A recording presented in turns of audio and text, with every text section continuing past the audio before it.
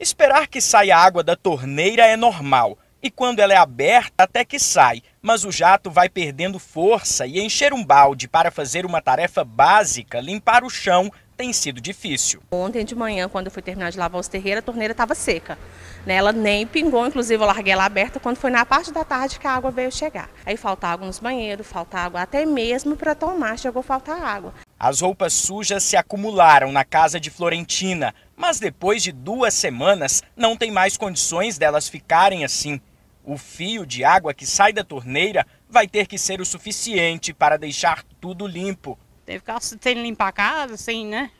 Porque não tem água, né? Fica sem. E a conta vem para pagar, né? Vem para pagar, tem que pagar. Se não pagar, escorta, né?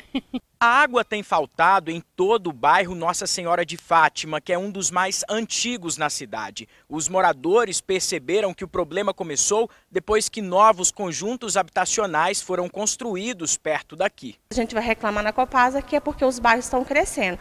Mas o bairro está crescendo, a Copasa tem que ter capacidade para distribuir água para todo mundo, né? Porque está crescendo que a gente tem que ficar prejudicado com isso, né? Geraldo tem perdido clientes. É que no trabalho dele é indispensável o uso de água água no processo de estampar camisetas. Eu preciso da água para revelar uma tela, lavar ela depois e depois para limpar, para me regravar.